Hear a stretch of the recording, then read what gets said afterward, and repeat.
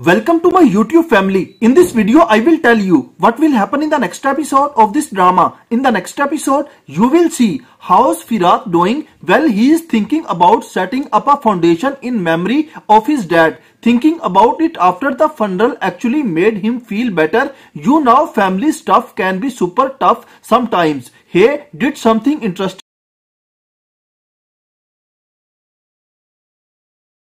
Can you believe it? What do you mean by cart? Oh, nothing like that. Mr. Asrif is Mr. Asrif is apparently sick, so mom went and made soap for him secretly. Pretty nice of her. Oops, sorry, did not mean to be rude. I mean, what's the big deal, right? But but hey, do you think there's something going on between them? Nah, come on, Alif, that's just silly talk. I am not saying it's true. or really? Why not could it be? Friends, if you like our video, then please subscribe our channel and share our video with your favorite